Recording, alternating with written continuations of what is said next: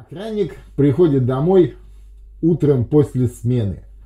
Садится, значит, завтракать, выходит из комнаты теща с журналом и такая его «Столица Бразилии, 8 букв». Тот как дал кулаком по столу. «Мама, ну могу я хотя бы пять минут спокойно поесть и не думать о работе, а?»